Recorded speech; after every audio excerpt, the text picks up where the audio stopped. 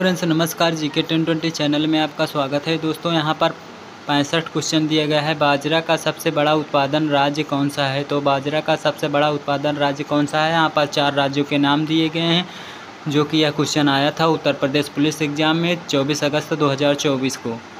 तो इस क्वेश्चन का सही आंसर हो जाएगा। इस क्वेश्चन का सही आंसर हो जाएगा, राजस्थान है, बाजरा का सबसे बड़ा उत्पादक। तो राजस्थान इस क्वेश्चन का सही आंसर भी हो जाएगा। आइए इसके बारे में थोड़ा विस्तार से दिखा देते हैं हम आपको। अगर आप देखना चाहते हैं, पढ़ना चाहते हैं तो वीडियो को रोक के पढ़ भी सकते हैं। तो बस इस वीडियो में इतना ही। नेक्स्ट वीडियो में फिर मिलेंगे। ऐसे ही वीडियो से अपडेट रहने के लिए हमारे चैनल को कर लो subscribe. Thank you for watching videos.